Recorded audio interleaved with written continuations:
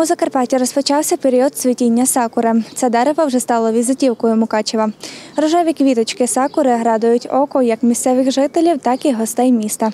Традиційно навесні Закарпаття манить та приваблює цвітінням сакур. Щороку люди масово приїздять, аби побачити цвіт. Пані Катерина приїхала з Києва. Хоча покинути дім їх з дітьми змусила війна, але жінка не втрачає надії на перемогу. А тут під мирним небом навчає дітей бачити красу.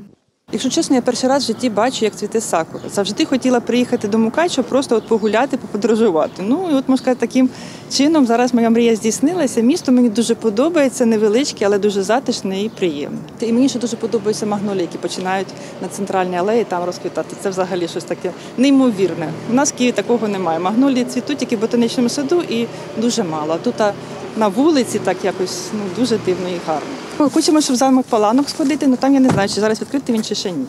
Якби хочу, щоб мої діти теж знали свою країну і пишалися своєю країною. Дітки, в свою чергу, вже встигли дослідити дерево. Мені дуже подобається її е, цвітіння. Вона така гарна, необична. Мені теж дуже подобається.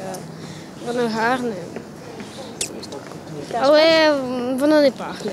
Найдовша алея, найстаріше дерево цього виду шалена сакура. Все це можна побачити у Мукачеві. У період цвітіння сакури соцмережі масово рясніють фотографіями із рожевим цвітом. А ці дерева вважають туристичною принадою Закарпаття. У нашому краї їх висаджують під час толок у рекреаційних зонах та нерідко навіть на власних обійстях. Хоч сакура, зрозуміло, не плодоносить. Тож помилуватися навесні рожевим квітом можна мало не по всій області. Наблюдаю кожен день за нею, так що е, кожен раз якась, знаєте, з нею якась є надія і про те, що все буде добре. І от, коли бачимо, що сакура цвіте, надихає, знаєте, на, на, на, на нове щось. Зло привноситься воно людиною, на жаль. А природа, от вона живе своїм, своїм життям і дуже добре це помічати.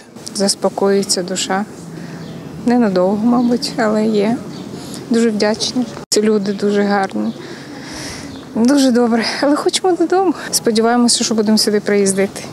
Наразі Закарпаття залишається мирним регіоном. Навіть природа тут прагне хоч трохи потішити людей і відволікти від жахіть війни.